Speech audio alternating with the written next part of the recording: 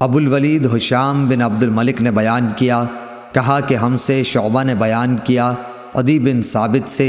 उन्होंने बयान किया कि मैंने बरा बिन आज़िब से सुना, कि मैंने रसूल करीम सल्लल्लाहु अलैहि वसल्लम से सुना। आप सफ़र में थे कि इशा की दो पहली रकात में से किसी एक रकत में आपने वत्तीन वज़ैतून पढ़ी। सही बुखारी, हदीस नंबर सात सौ सड़सठ।